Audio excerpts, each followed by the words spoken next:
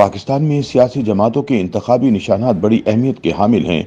इसकी एक वजह पार्टी रहनुमाओं, वोटर्स और सपोर्टर की अपने निशान से जज्बाती वाबस्तगी है, जबकि दूसरी वजह यह है कि पाकिस्तान में वोटर्स अमूमन कम तालीम याफ्ता हैं और इन्हें हर बार नए इंतबी निशान पर मोहर लगाने के लिए समझाना एक मुश्किल अमल है, इसलिए सियासी जमातें अपने इंतबी निशानात का तसलसल चाहती हैं।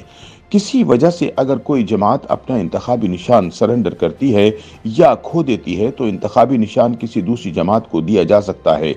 जैसे हाल ही में परवेज मुशरफ की जमात आल पाकिस्तान मुस्लिम लीग का इंतबी निशान अकाब इस्तेकाम पाकिस्तान पार्टी को अलाट कर दिया गया है। सियासी जमातों के इंतबात की भी एक तारीख है, जो बिल्कुल पाकिस्तान की सियासी तारीख से मुताबिकत रखती है। पाकिस्तान में पहले बरह रास्त इंतबात उन्नीस सौ सत्तर में हुए, जिसमें मुस्लिम लीग, अवामी लीग, जमात इस्लामी और पीपल्स पार्टी ने हिस्सा लिया। यूँ पहली बार सियासी जमातों को इंतबी निशाना मिले, लेकिन इससे पहले उन्नीस सौ अड़सठ के सदारती इंतबात में जनरल अयूब फूल और मोहतरमा फातमा जिना लालटेन के इंतबी निशाना पर हिस्सा ले चुकी थी। सदारती इंतबात में फातमा जिना को नैप में शामिल जमातों की हिमायत हासिल थी, जिसमें अवामी नेशनल पार्टी के बानी सर फहरिस्त थे। वली खान की तजवीज़ पर मुहतरमा फातमा जिना ने लालटेन का इंतबी निशान हासिल किया था।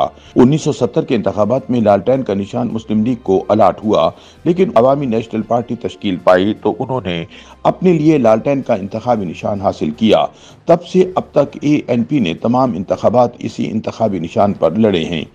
पाकिस्तान पीपल्स पार्टी ने 1970 में पहली बार इंतखाब में हिस्सा लिया और तलवार का इंतखाबी निशान हासिल किया। 1977 में भी पीपल्स पार्टी ने तलवार के निशान पर इलेक्शन लड़ा, लेकिन 1988 के इंतबात से कबल पाकिस्तान पीपल्स पार्टी पर पाबंदी आयद हुई तो पाकिस्तान पीपल्स पार्टी पार्लियामेंटेरियन मारिज वजूद में आई और इसके लिए इंतबी निशान तीर हासिल किया गया। उन्नीस सौ अठासी के बाद होने वाले तमाम इंतबात में पीपल्स पार्टी ने तीर के निशान पर ही इलेक्शन लड़ा है।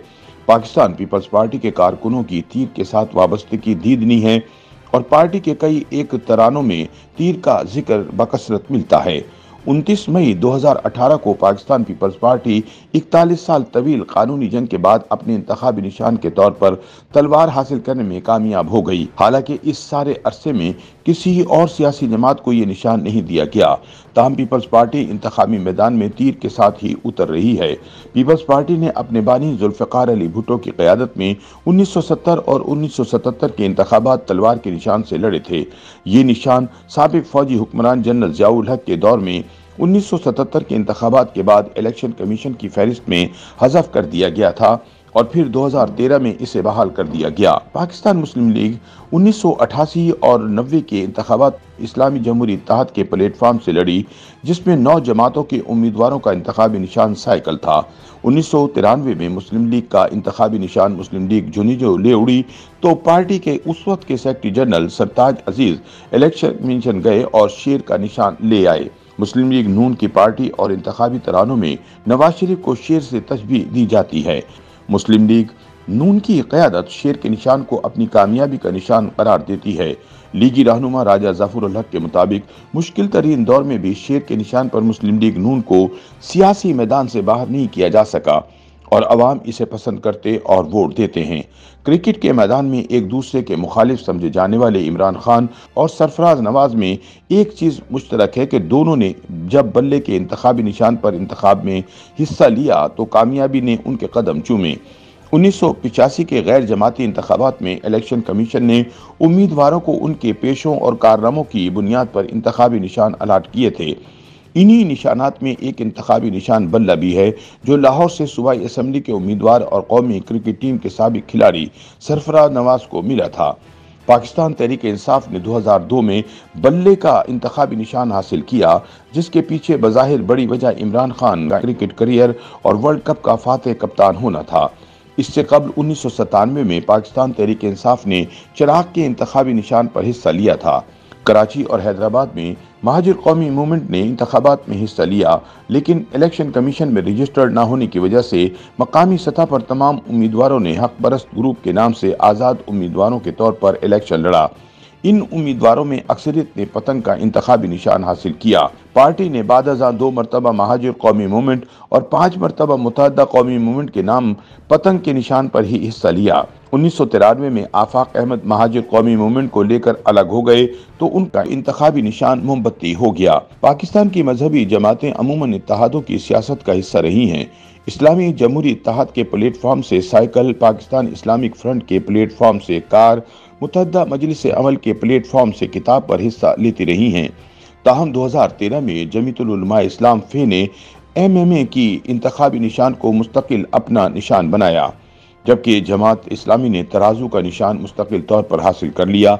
जमात इस्लामी ने 1970 के इंतबात में भी तराजू के निशान पर ही हिस्सा लिया था। इलेक्शन कमीशन के पास 300 से जायद इंतबी निशानात की एक फहरिस्त होती है, जिनकी मंजूरी कमीशन ने दे रखी है।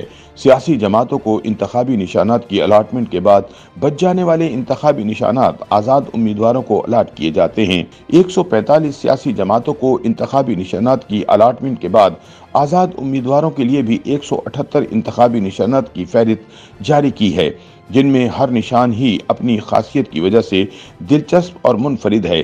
इनमें आबशार अंग्रेज़ी के हरूफ तहाजी के कुछ अल्फाज, ऑडियो कैसेट गदा गाड़ी सब्ज मिर्च, फ्राई पैन, तंदूर, तवा, सुरंग, तरबूज व्हील चेयर कुस्सा और रेंच शामिल हैं। आज़ाद उम्मीदवारों को अलाट होने वाले इंतबी निशानात में बाज निशानात ऐसे भी हैं जो सियासी जमातों के निशानात से मुशाबत रखते हैं। इनमें पेंसिल, पेचकस, टूथब्रश पीपल्स पार्टी के इंतबी निशान तीर के करीब तर हैं। इस तरह बकरी, रीछ और कुछ दीगर जानवर नून लीग के निशान शेर से मुशाबत रखते हैं। सियासी जमातों के उम्मीदवार अपने साथ अपने किसी अज़ीज़ के कागजात नामजदगी, महज इस वजह से जमा करवाते हैं ताकि मुखालिफ सियासी जमात के उम्मीदवार से मिलता जुलता इंतबी निशान अलाट करवा कर मुखालिफ के वोट कम किए जाए। जिन हलकों में उम्मीदवारों के दरमियान मुकाबला सख्त हो, वहाँ ऐसे निशानात हार को जीत और जीत को हार में बदलने में अहम किरदार अदा करते हैं। YouTube पर गूगली न्यूज़ देखने के लिए YouTube.com की सर्च बार में गूगली न्यूज़ टीवी टाइप करें। गूगली न्यूज़ के पेज पर सुर्ख रंग के सब्सक्रिप्शन वाले बटन पर क्लिक करना ना भूलिए। YouTube पेज पर अपलोड होने वाली वीडियो से बाखबर रहने के लिए बेल आइकन पर क्लिक कीजिए। आपको हर नई वीडियो के बारे में नोटिफिकेशन मौसू हो जाएगा।